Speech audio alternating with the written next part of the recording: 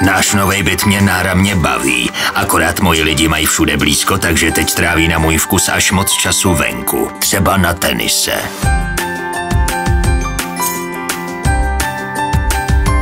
Na tomhle zas jezdí pořád dokola na té dlouhé cestě skoro za barákem, což nechápu. No a to blízký golfový hřiště mi byl čert dlužnej.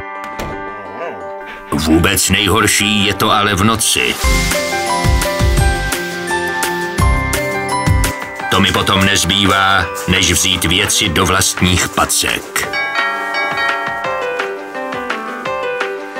Překvapení.